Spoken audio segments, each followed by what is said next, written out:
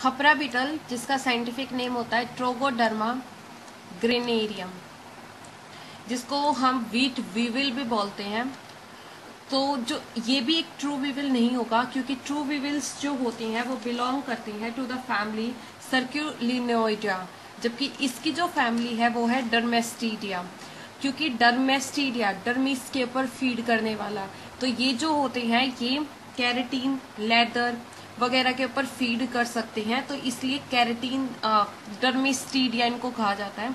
उसके अलावा इनका जो अडल्ट होता है, खपरा बीटल जो होता है ओवल डार्क ब्राउन कलर का होता है, और इनका जो हेड होता है वो कैसा होता है? कॉन्ट्रेक्टाइल होता है। क्लब्ड एंटीना प्रेजेंट होते हैं, जो कि काफ़ी डीप जाके जो होते हैं अटैच्ड होते हैं। उसके अलावा इनके ऊपर हेयर्स या फिर सीटिया या स्केल्स जो होते हैं, वो प्रेजेंट हो सकते हैं। तो इसलिए जब ये किसी पेस्ट सॉरी किसी ग्रेन वगैरह के ऊपर इन्फेस्टेशन करते हैं तो ये अपनी स्किन्स या सीटिया वगैरह वहीं छोड़ देते हैं, जिसके कारण जब अगर ऐसे ग्रेन्स को कंज्यूम कर लिया जाता है तो वो गैस्ट्रिक गैस्ट्रोइंटेस्टाइनल प्रॉब्लम्स या फिर एलर्जिक रिएक्शंस कॉज करते हैं। उसके बाद आती है कि इसकी लाइफ साइकिल लाइफ साइकिल ये सिलोपिटेरा ऑर्डर से ही बिलोंग करता है तो इसके अंदर चार ही फेजेस आएँगे। अडल्ट अडल्ट से एग एग से लार्वा और लार्वा के बाद प्यूपा तो ये इसकी लाइफ साइकिल होती है खपरा बीटल के अंदर। अगर डिस्ट्रीब्यूशन की बात करते हैं तो वर्ल्ड वाइड ये डिस्ट्रीब्यूटेड होता है। In India also it is present all over India ये हमें मिलता है और mainly in the states Haryana Punjab UP Bihar etcetera इसके बाद अगर हम इसके होस्ट की बात करते हैं तो इसके अंदर वीट वीविल यानी कि वीट के ऊपर तो ये मिलता ही है। उसके अलावा जो ग्रेन्स होते हैं, दूसरे राइस हो गया, बाजरा मेज वगैरह के ऊपर भी ये मिलता है। उसके बाद जनरल अपियरेंस होगी कि ये जो अडल्ट होता है, वो कैसा होता है कि डार्क ब्राउन कलर का होता है। उसके अलावा इसके ऊपर क्या होती है कि इसकी लेंथ होती है पाँच से सात एम mm इसकी लेंथ होती है कॉन्ट्रेक्टाइल हेड होता है और फीमेल्स जो होती हैं, वो बड़ी होती हैं लार्जर होती हैं देन मेल्स लाइफ साइकिल इनकी लाइफ साइकिल जो होती है, वो कंप्लीट होती है thirty four to seventy six days यानी डेज़ के अंदर। यानी कि इनकी जो लाइफ साइकिल होगी, वो अप्रोक्सीमेटली वन मंथ से लेके टू मंथ फिफ्टीन डेज़ के अंदर इनकी लाइफ साइकिल कंप्लीट होती है। तो दूसरों के कंपैरिजन में इनकी जो लाइफ साइकिल है, वो काफ़ी बड़ी होगी। लाइफ साइकिल अगर बड़ी होगी तो जो स्टेजेस के लिए टाइम लगेगा, वो भी क्या हो जाएगा? ज़्यादा होगा। तो सबसे पहले क्या होगा? इनके अंदर जो अडल्ट होते हैं, जैसे ही वो एमर्ज करते हैं, उसके एक दो दिन के बाद ही वो पॉपुलेशन करना स्टार्ट कर देते हैं। और इसके अंदर एक और पॉइंट क्या होता है कि जो इनके अंदर लार्वल पीरियड होता है यानी कि कितने दिनों के अंदर लार्वा जो होगा, फिर वो प्यूपा के अंदर कन्वर्ट होगा या प्यूपेशन अंडरगो करेगा, वो डिपेंड करता है कि जो बीटल है वो मेल है या फिर वो फीमेल है। इस चीज़ के ऊपर टाइम जो होता है या लार्वल पीरियड जो होता है डिपेंड करता है। यूजुअली ये चीज़ जो होती है वो टेम्परेचर के ऊपर डिपेंड करती है समर्स या विंटर्स समर के अंदर टाइम कम लगता है और विंटर्स के अंदर ज़्यादा टाइम लगता है। उसके बाद इसके अंदर है कि जब सबसे पहले जो फीमेल्स होती हैं और इसके अंदर एक और चीज़ क्या है? वीविल्स क्या करते हैं कि फीमेल जो होती है होल क्रिएट करती है ग्रेन के अंदर और उसके बाद वो एग्स को लेट डाउन करती है।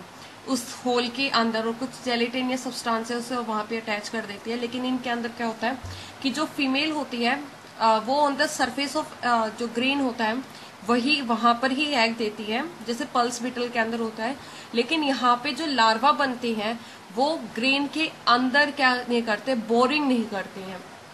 तो यानी कि वो सिर्फ़ सरफेस जो होता है ग्रेन का उसको डैमेज करते हैं। तो इसलिए जो सबसे पहले क्या होती है कि female upper surface of grain के ऊपर जो होती है एग्स को ले डाउन करती हैं। और उसके बाद क्या होता है कि एग्स जो होते हैं वो वैसे होंगे कि स्मॉल होते हैं ट्रांसपेरेंट होते हैं सेमी ट्रांसपेरेंट होते हैं व्हाइट कलर के होते हैं पॉइंट फाइव एम जो होती है आ, उनका साइज़ होता है। और एक फीमेल जो होती है 150 के लगभग जो होती है एग्स जो होती है, वो लेट डाउन करती है।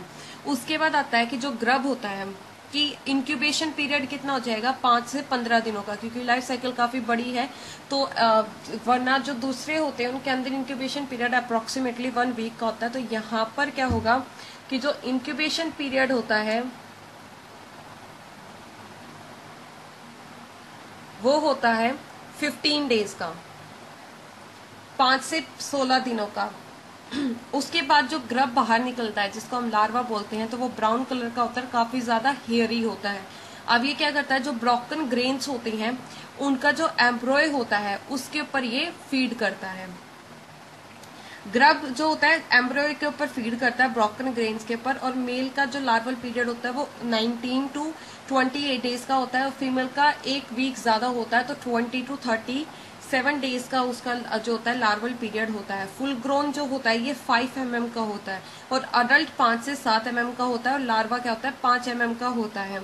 उसके बाद ये हाइबरनेट भी कर सकता है, क्योंकि यहाँ पे इस डायग्राम के अंदर कि जो लार्वा होता है मोस्ट कॉमनली डिटेक्ट किया जाता है और and also the resting of the diapause life stage क्योंकि इसी स्टेज के अंदर वो क्या करता है हाइबरनेशन कॉज कर हाइबरनेशन जाता है, यानी विंटर स्लीप उसके बाद आता है कि प्यूपा की एक रफ ब्राउन कलर के कुकुन के अंदर वो प्यूपेशन अंडरगो करता है और प्यूपेशन का भी approximately four to seven seventeen days यानी कि टू वीक्स का टाइम उसके अंदर भी लग जाता है। यानी कि जब अडल्ट सॉरी जो एग था वो हैच हुआ। उसके अंदर भी दो वीक्स का टाइम लगा। उसके बाद जो लार्वा था, उसको मेल एंड फीमेल के अकॉर्डिंग अप्रोक्सीमेटली वन मंथ का टाइम लगा। और उसके बाद जब वो प्यूपा स्टेज के अंदर है, यानी प्यूपेशन वो करता है, तभी भी उसको अप्रोक्सीमेटली वन वीक से टू वीक्स का टाइम लगता है seven to four to seventeen days adult जो होता है, वो एमर्ज आउट करता है फ्रॉम द ग्रेन्स क्योंकि जो प्यूपेशन होती है, वो ग्रेन के अंदर होती है। और उसके बाद जो अडल्ट होता है, वो बाहर एमर्ज आउट करता है, जिसकी लाइफ स्पेन जो होती है 15 टू 30 डेज़ की होती है।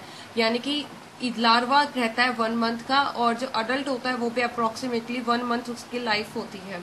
तो इस तरीके से अगर हम देखें तो वन मंथ इसकी वन मंथ इसकी टू मंथ और अप्रोक्सीमेटली इन दोनों को अगर हम 15 डेज़ लेके चले तो टू मंथ 15 डेज़ की इसकी टोटल लाइफ साइकिल होती है। उसके बाद आता है मेन डैमेज जो मेन डैमेज होता है, वो कोज करता है जो लार्वा होता है एंड जो अडल्ट होता है. वो कोज करता है, उसके बाद आता है कि कैसे, कि जो मेन डैमेज है, कि वो larva and the grub adult and the grub क्योंकि grub and the larva same thing है. उसके बाद आता है क्योंकि वो एक तो क्या है कि ये वीट के ऊपर ही नहीं, बल्कि दूसरे जो मेज राइस वगैरह होते हैं, उसके ऊपर भी अटैक करता है।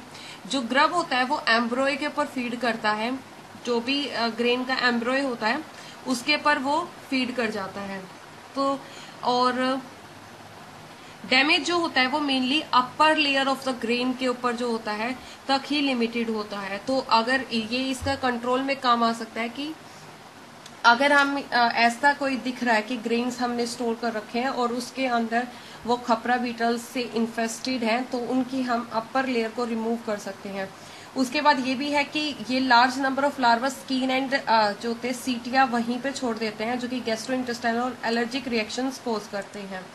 उसके बाद destructive stages young larva damage seed के ऊपर और ओल्डर लार्वा जो होते हैं, वो पूरे के पूरे ग्रेन्स के ऊपर फ़ीड कर जाते हैं। और लार्वा सबसे डिस्ट्रक्टिव है, लेकिन उसके अलावा अडल्ट भी है, क्योंकि प्यूपेशन ग्रेन के अंदर होती है, उसके बाद अडल्ट जो होता है ग्रेन से बाहर एमर्ज करता है। तो कंट्रोल के अंदर यही आता है कि हम जो केमिकल कंट्रोल्स यूज़ कर सकते हैं, और उसके अलावा हम ग्रेन्स वगैरह को सनलाइट के अंदर सुखा के और उनका जो मॉइस्चर लेवल है, वो काफ़ी कम कर सकते हैं। और गनी अगर हम जैसे इन्फेस्टेड ग्रेन है, क्योंकि ये अपर लेयर्स के ऊपर ही मिलते हैं तो ऊपर का जो ग्रेन्स को हम क्या करते हैं गनी बैग से कवर कर लेते हैं। तो जो ये जो भी स्टेजेस होती हैं, इनकी डेवलपिंग वो क्या करती हैं, उन गनी बैग्स से अटैच हो जाते हैं, जिसको गनी बैग्स को हम बाद में रिमूव करके और इन पेस्ट को डिस्ट्रॉय कर सकते हैं। उसके अलावा हम अपर लेयर जो होती है, जहाँ पे इन्फेस्टेशन सबसे ज़्यादा होता है, उसको रिमूव कर सकते हैं। इसके अलावा हम बहुत सारे तरीके के इंसेक्टिसाइड फ्यूमिगेशन या फिर हम नीम वगैरह यूज़ कर सकते हैं।